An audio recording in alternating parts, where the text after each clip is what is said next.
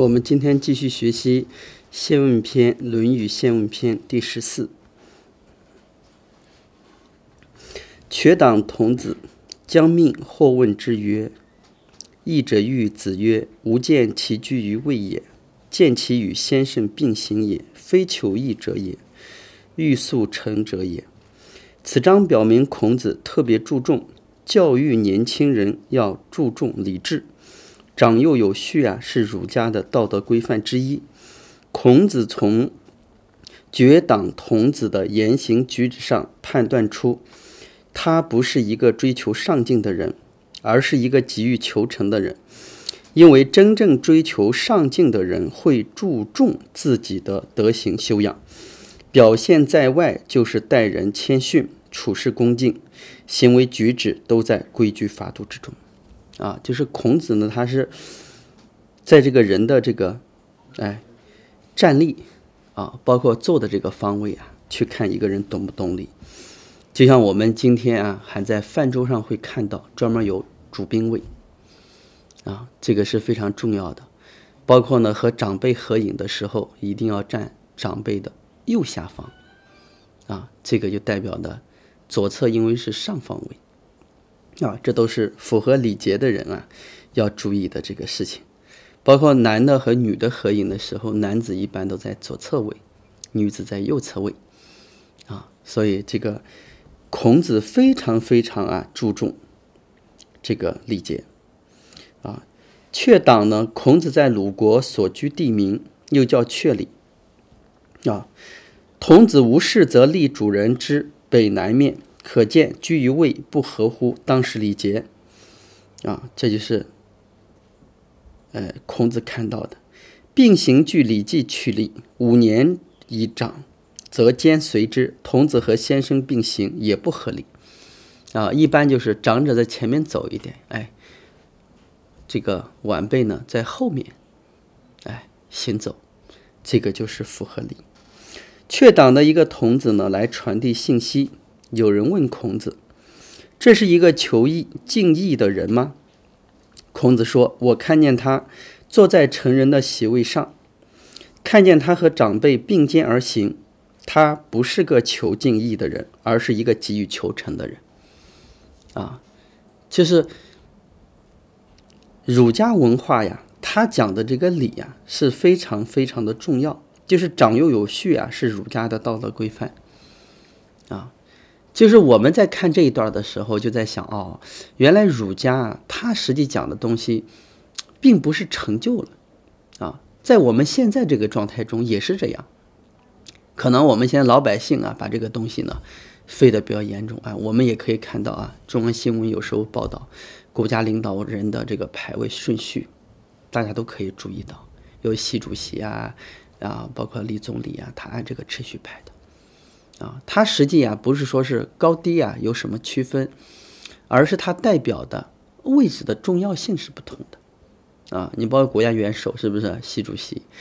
他是代表一个国家形象的，啊，他是不一样的，所以他的言行举止啊就不是仅仅代表于自己了。啊，你包括我们在任何一个地方，哎，结婚的时候、丧礼的时候，我们都可以看到主宾位，啊。呃，我们家过去呢，那还叫长子位，啊，就是，就是这个去祖坟的时候，一定是长子先去进香的，啊，重大的祭祀活动一定都是长子去出行的。实际儒家的很多礼节，在咱们现在看来都是非常实用的。很多人认为啊，它是一种约束。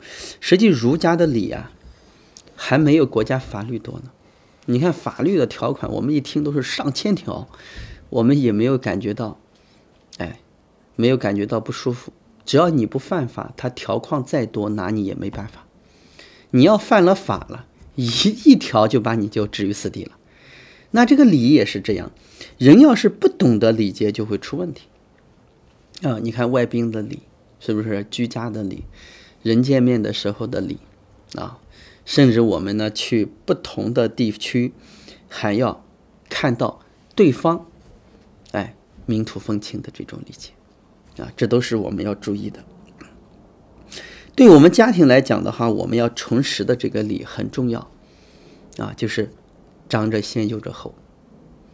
啊，包括我们现在都看到家庭最失礼的一个地方是，老人做饭端上桌子，小孩坐在饭桌上面，这是最失礼的一个地方。啊，实际那个时候就是我们怕小孩烫到了，那怎么办呢？我们可以让孩子协助我们做一些事情，哎，比方拿筷子。哎，把凳子摆好，拿点餐巾纸，哎，不妨让孩子参与到这个其中啊，实际更有乐趣的啊。实际在家里面，我们最看到的就是这一块的理解。我们经常会发现，在家里是礼礼呀，它是乱的，孩子是老大啊，爷爷奶奶是佣人啊，这个父母是大臣。我经常在讲，父母是赚钱的。孩子花钱舍得什么补习班，哎呀，那简直舍得花钱的很。给老人花钱舍不得，啊，还要算计。在这个上面，我们实际都忘记了，因为我们也会老。这是一个非常失礼的地方。学习儒家思想的时候，我们要对照我们的家里现在怎么样，啊。哎，今天不是说孩子爱吃什么，而想什么父母爱吃什么啊？因为为什么父母活一天少一天，孩子逐渐慢慢长大，独立以后，他有吃的是是机会，但是老人呢，他真的是和我们相处的时间是越来越少啊。所以这个礼呢，还是适合去拾起收起来，是重拾起来以后啊，让我们在家里去践行的。这样的话，这个家庭里面就懂规矩啊。你看，我记我最有印象的事情，就我们家孩子两三岁的时候，跟我妈说话比较冲，我就收拾了一次。从那以后，对我妈就很客气。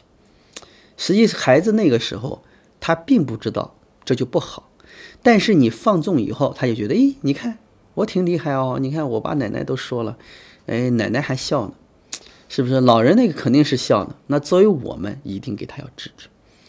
啊，因为蝼蚁之血还能毁了千年大坝。啊，一些小的事情呢，我们还是把它制止掉是比较好的。啊，这一段呢，我们可以在家庭里面，哎，去看一下，给孩子也要有感觉。哎，这第一碗饭上来是爷爷奶奶的，啊，下来才是他们的。必须炒两个菜的时候，一个是老人喜欢吃的。哎把这个一定要当成啊头等的这个大事情啊，这样的话，这个礼啊，让孩子明白哦，原来尊敬老人、孝顺老人，哎，是我们的家风，也是家教。他出门在外以后，对长者都是非常尊敬啊。大家不要小看这个礼节啊，很重要的啊。我有个朋友，多少年前认识的，火车上啊，让了个座位儿。竟然让出了一个公司来，为什么他卖纽扣的嘛？啊，他在火车上有座位，过去那都是绿皮的车，座位不多。一个上了年龄人呢，人家就在那儿，在那个地方，在他跟前站着。他一看，哎呦，我们家里一直在讲这个老年人要是站着，这青年人都不能坐着啊。你看这老年人。站我跟前，我这坐着特别不舒服，还不如他坐着我站着痛快，就让个座儿。啊，老头呢特别感动，就问年轻人说：“你做什么生意的？”说：“我卖纽扣和拉链的。”老头呢，哎呀，就给他写了个条子，说：“我给你写个电话，啊，以后啊，要是需要有什么困难需要帮助了，哎，记着跟我联系。”他也没太在意，就装在口袋里。有一年进的这个，哎，拉锁纽扣比较多了，卖不出去，他就想起这个电话了，给打了过去。哎呀，这老人家还很激动啊，说非常感谢你啊，我就说呢，给你留个电话，要给别人留个电话，那都不知道打多少次了，给你留个电话，多少年你也没打过啊。一问什么扣呢？原来纽扣和这个拉链儿他进的比较多。他说你有多少？一问，哎呦，才那一点，你再进一批货吧。我就全要了，啊，最后才知道，哎呀，他管一个机构，这个机构光管的员工二百多万，哇，这所有纽扣啊，所有拉链全部他卖进去了，啊，质量还很高，还很好啊，威力，最后就在北京那个燕郊建了个工厂。哎呀，特别有意思啊！这是让周儿让出来的。实际有时候这一类的事情啊，我们不要认为是神话，实际真的是非常就是眼前的一些事情，你都会发现啊。这个礼节很重要。我在北京还有个朋友是个女士，每次坐公交车，她坐个座位就看见一个孕妇，就给这个孕妇让座位啊，大概都让了一两个月。哎，他觉得跟这孕妇挺有缘的，每次都给让座座位啊。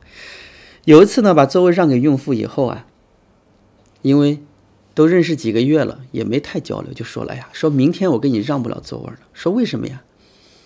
说我换工作了，坐的车啊不是这一趟了啊。这个女的就跟他讲，说我给你写个电话，写个名字，写个地址，你去找他去吧。他就给你安排工作，你照样还可以坐这一趟车。谁知道跑去以后是她老公开的单位，不光是这样，还给了百分之十的股份啊。我们有时候就是经常说啊，大城市啊水很深，你不知道谁的背后站着是谁啊。不管他的水深水浅，作为一个学国学的人，在这个礼让啊礼节上面，我们要是非常注注意的话，会被别人记住。这个持之以恒是非常重要的啊！就像我有个朋友听我讲课，说捡垃圾、随地扔垃圾就是践踏自己的国土。他告诉他：“秦老师，我有好事儿了。我什么好事儿？你讲的要捡垃圾，说我有时间我就开始捡垃圾。谁知道那一天捡垃圾被我们市里头文明办主任看见了，哇，还有这么好的公民，竟然给我来个表彰！哇，他说：你看这不是好事儿吗？说我从来没想过人家表彰我。”哎，没想到就碰的那么巧，他就看见了，是不是？所以这类的事情啊，那真的是，哎呀，我经常在讲，人有善愿呀，天必从之，这个一定会满愿的啊，这是非常重要的事情啊，大家还是在这个礼节上面注意一下，还是比较好啊。这就是讲的这个礼节的问题啊，尤其在这个环境中，我觉得送礼啊，送不好。就成了行贿的人了，啊，不妨拿我们的人格魅力、道德素质修养，去和朋友们啊，和一些哎企业家建立非常好的这种关系啊，还是需要靠个人魅力的。我们看《论语卫灵公篇》第十五，卫灵公问臣与孔子，孔子对曰。啊促斗之事，则常闻之矣；军旅之事，谓之学也。明日随行。啊，促斗呢是礼器。孔子是主张和平的，反对用战争的方式解决争端。所以，当卫灵公向孔子询问军政之事时，他便回答说：“只知礼仪，不懂军旅。”实际上，孔子不是不重视军事，而是不愿意谈论军旅。他是想导致仁政以孝为根本来教化人心，啊，就是人家来问孔子呢军事的事情，孔子，哎是避而不谈，他讲他之懂礼，因为孔子他知道这个以孝为根来教化人心啊，应该是比法治啊更有效果啊。你看我们看孔子的这种理念，在现在这个当今社会，我们也可以看到。啊，是非常有用的。你看，我们看到的西方世界，啊，以天主教文明横行于世界以后，我们可以看到对这个哎萨达姆、卡扎菲的猎杀，啊，我们可以完全的可以看到，零三年萨达姆的政权亡掉以后，到现在的巴格达首都，我们看看是什么，啊，还不如萨达姆那个时候在的时候。作为美国，它以天主教文化为基础，实际他们是最违背上帝意志的。为什么？我们看到圣经上讲的核心意思是什么？神爱世人。既然爱世人，就没有讲爱教徒，也没有分民族和国家。他把人家的总统收拾掉，不管人家民主民众的死活，你要真把人家收拾了，是不是？你美国那么有钱呢，你把巴格达整个的，哎，这个国家给建立好，是不是？那是非常了不得的，证明你美国确确实实是老大。可是呢，在我们看到他们的一系列的这个决策中，他是最违背他们教义的，也是最不仁德的，啊。要不我碰到部队上将军啊，跟我讲去国外维和，就讲说那些国家的人逃命都来不及，哪有时间学习呀？说利比亚卡扎菲死完以后，利比亚我们看看成什么样了啊？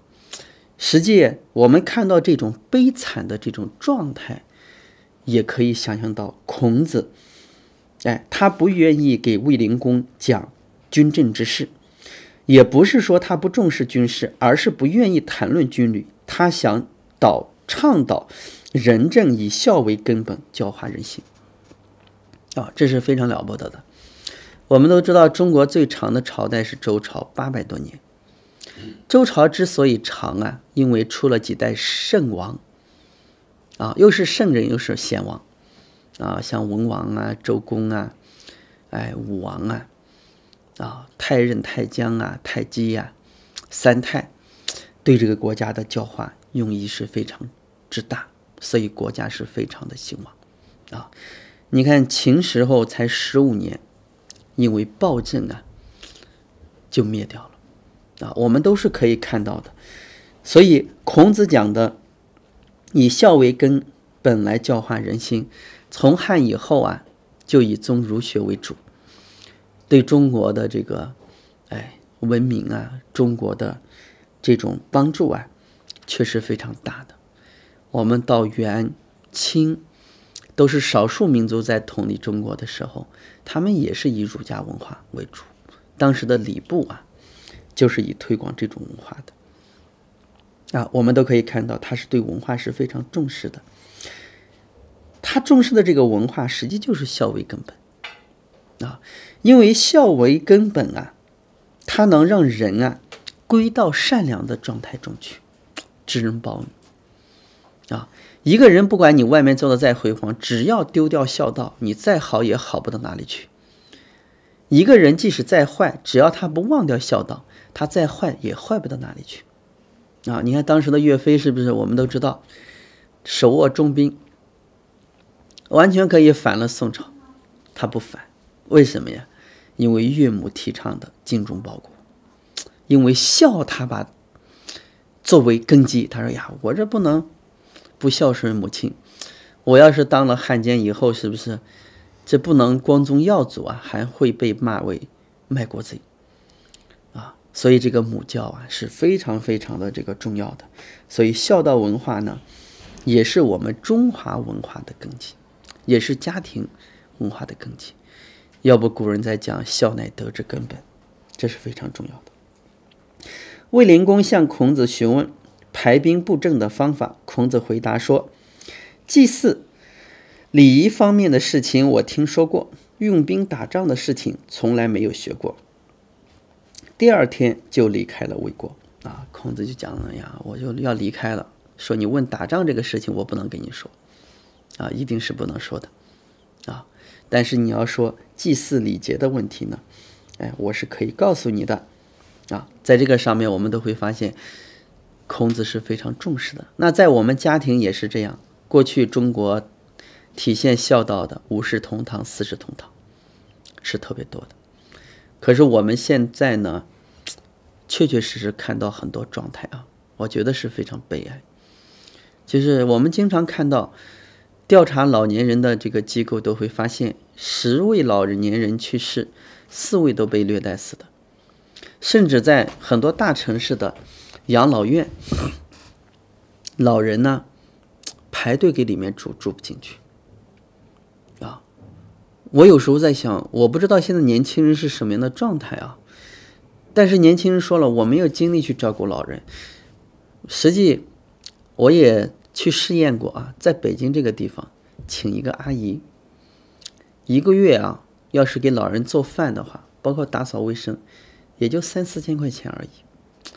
我觉得你把老人送到养老院去，好像花费也不值这么点钱呢。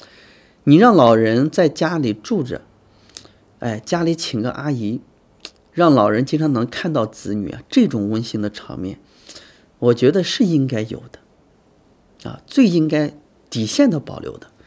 我甚至听到很多明星也把他的父母都送到养老院，我更想不通。就是我们中国的文化的根基，实际就是五世同堂、四世同堂，几代人住在一起，是不是？你实在不行的话，可以住在一个小区嘛。我不需要买房，可以租房嘛，完全是可以的。啊，要不然就住个楼上楼下，是不是？这样的话，老人可以长期在跟前。我觉得这也是一个解决的问题。很多人说呀，很无奈，找了很多借口。我一直在想一个问题。我们小时候父母也很忙，但是从来都没有说过孩子你自己冲奶喝吧，自己给自己加尿片吧。但是我们对待老人也够残忍啊！要不我经常在讲，八零后有可能是最后一代赡养老人的人，将是第一代被子女抛弃的人，一定是这样。实际在这个层面，我们可以看到，就是儒家的思想的缺失。啊，真的是儒家思想的缺失，啊，没有什么重不重要，关键你把它当成重要的事情以后，一定会放在心上的。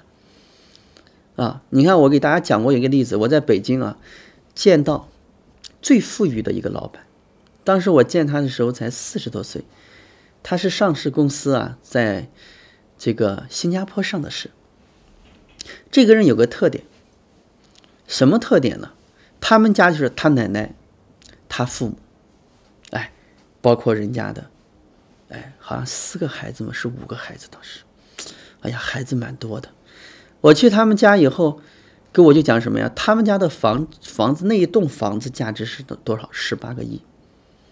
在北京这个地方，我是见到的最大的一个豪宅，吃饭的饭厅大概就是四百多平米。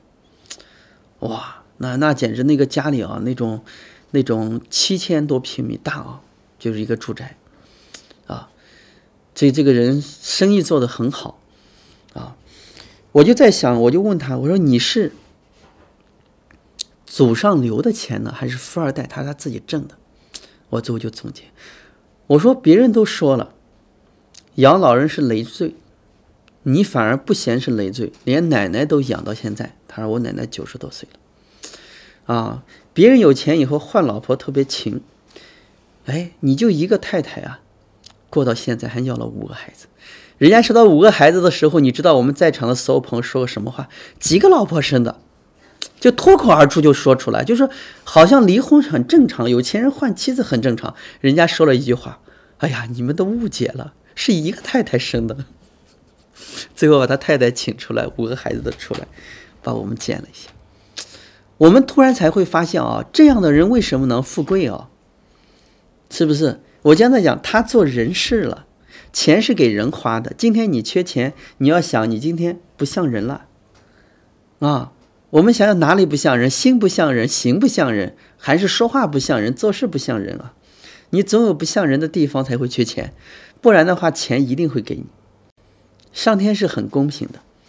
要不我去过非常多的这个富人的家庭啊，我们会发现，他的家庭的作风和别人不一样，夫妻一定很恩爱，对父母肯定很孝顺，啊，一定是这样，啊，反正我看的都是优点的啊，那至于人家的缺点没表露出来，别人了不了解我不知道，我最后我就私下问他，我说你怎么生活呀？我才发现，竟然还是素食主义，啊，我就问他说，哎呀，我是信佛教的。最后才说他老师谁呀？是这个，哎，河北这个百灵禅寺前任方丈，好像是净慧长老，说是他老师。对他老师尊敬的这个程度，竟然在别墅的院子里面还盖了一个小的三间，供着他老师的像。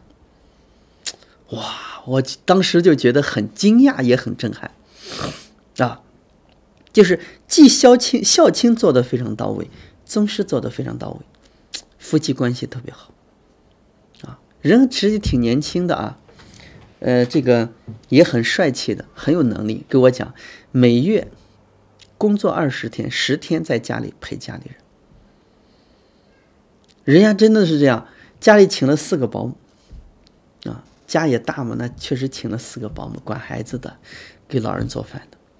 他说他奶奶最喜欢吃什么红烧肉，啊，每周必须给陶老太太做一次，他回来陪着老太太，他不吃，他看着老太太吃，他很高兴。啊，我一看人家学佛也学得很好，他吃素，竟然说老人就这一个爱好，我不能说你要吃素啊，剥夺了老人的爱好。哎呀，人家学的特别活，你在整个家庭的氛围里面，生意做得很好，夫妻关系很恩爱，又对老人非常孝顺，包括对他们家的几个阿姨都好的不得了。哎，人家很年轻，很时尚，啊，跟我才讲，他那一套别墅是在任志强手里买的。当时花了十八个亿，那当时十八个亿，我们想那现在得多少钱呀？哦，那真是豪宅呀！啊，正好在一个哎，还在一个湖边特别漂亮。实际我讲这个例子也是告诉大家，哎，孔子他是想倡导仁政，以孝为根本，来教化人性的。那我们家庭里面要想培德修福，也是以孝道做根本的啊！你看，孝敬父母，延伸夫妻恩爱，也是孝道。夫妻关系一好，双方老人就心很安稳，特别高兴啊！实际这是孝道的一个延延伸啊！大家不要把它认为是什么封建的、庸俗的、落后的。实际我相信啊，孔子讲的东西对现代的人更有这个教育意义。你看现在人都放纵成什么了？是不是？我们尤其看到演艺圈我说我有机会去演艺圈我都见那个明星都不是太出名啊，倒倒也见过一些。我想有机会啊，应该让他们多看一些我的东西，啊，让他们明白，越是哎有社会影响的人，越要当好表率，啊，这是一定是要注意的，啊。所以孔子他讲到的，实际是以孝为根本来教化人心的。那我们家庭也是要这样的，我们就在想想我们的孝亏在哪里。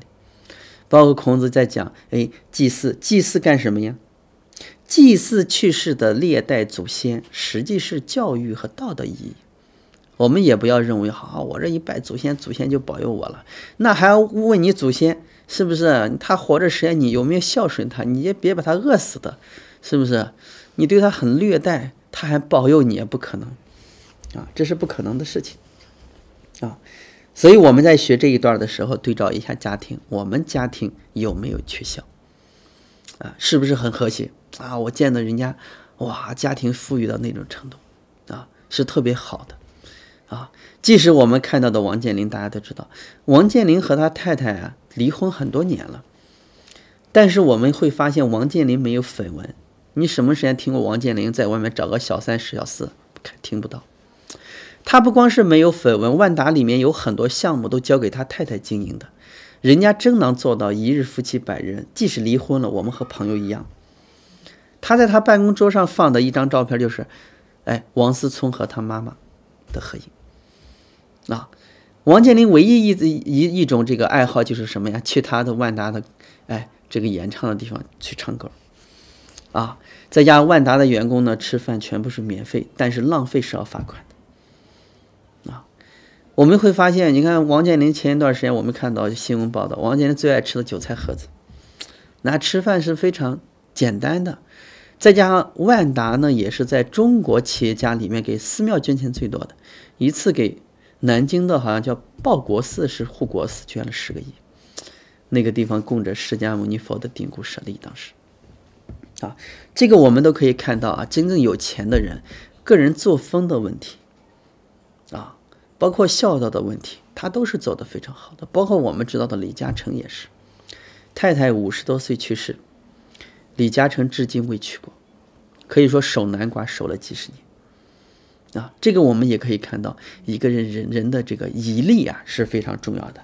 中国人相信啊，祖上有德啊，得祖宗护佑。哎，李嘉诚有德以后，两个儿子很优秀；王健林有德以后，你看王思聪很优秀，是不是？啊，你看王健林说了，这不是我培养的，我也不知道是不是。哇，他经常性上头条，哇，火得一塌糊涂，回答个问题都能挣钱，还挣上千亿，哇，我们都觉得他的思维啊，那真的是超过我们想象的，啊。所以这叫什么呀？祖上有德啊！真正我们可以看上看到的，哎，这是祖上有德的。